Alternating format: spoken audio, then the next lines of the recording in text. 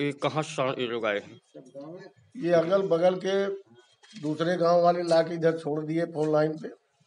जो हमारे गाँव में सिक्स लाइन फोर लाइन बन रहा है उसी पे ला के रात बिरात छोड़ दे रहे हैं जिससे कि पूरे गाँव के साल भर से जो है हमारे गाँव की जनता पूरी त्रस्त है किसान त्रस्त है।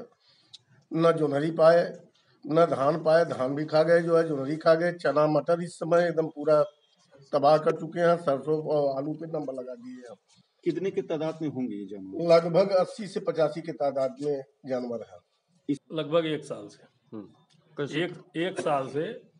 जैसे पुलिस लाइन से जितने भी यहाँ सिपाही और दरोगा हैं लाइन में सब करीब करीब गाय रखे हुए हैं। बछड़ा हुआ तो रात में बारह बजे ले आके यहाँ छोड़ देते हैं। क्योंकि सबसे नज़दीक है शहर से नज़दीक गाँव है। फ़सल हम लोगों की चौपट हो रही है। अब इसको इस इनको करेंगे क्या इसके लिए?